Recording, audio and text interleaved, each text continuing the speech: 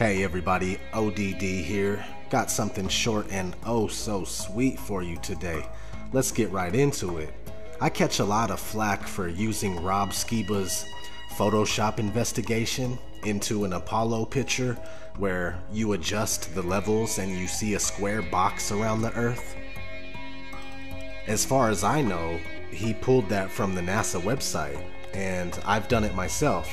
People argue that I'm retarded and it's JPEG artifacts from compression and being passed around so much and whatnot. It's just not true. They are indeed photoshopping these images. We are going to go to LROC. I'll put links in the description. So, what is LROC?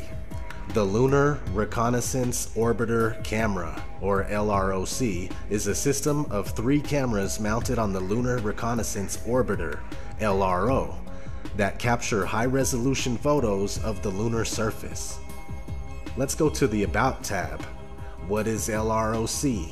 The Lunar Reconnaissance Orbiter Camera, or LROC, is a system of three cameras mounted on the Lunar Reconnaissance Orbiter, LRO, that capture high resolution black and white images and moderate resolution multispectral images of the lunar surface.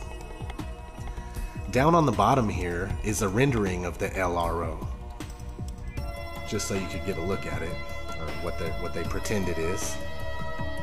Now let's go to this post that's from the same website. It's called Looking Over the Limb, and NASA claims this photo is real straight from the LROC.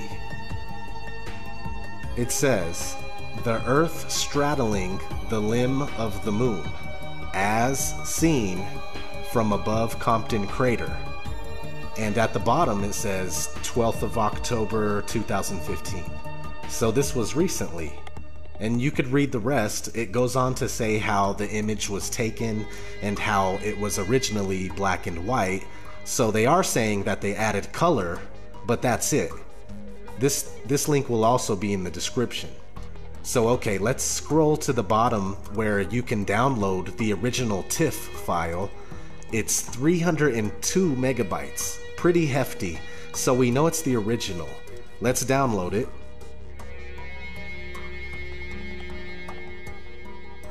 Now let's open it in Photoshop, bring the levels up,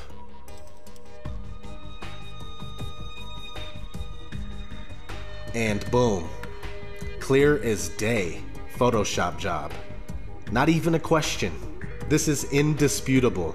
NASA's images are all fake. It's been proven over and over at this point and beat to death.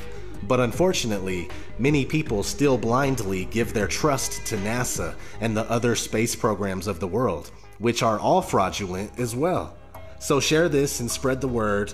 And before I get out of here, let me show you an interesting connection I made this morning. In 2015, both NASA's Hubble and Adobe's Photoshop were celebrating their 25th anniversary. On Adobe's official picture for that anniversary, there is an astronaut. Coincidence? At this point, it's not likely. Plus, Adobe Photoshop's original picture was an all seeing eye. So, just some food for thought. Anyway, I'm going to get out of here. Thanks for watching, and uh, yeah, we'll see you next time.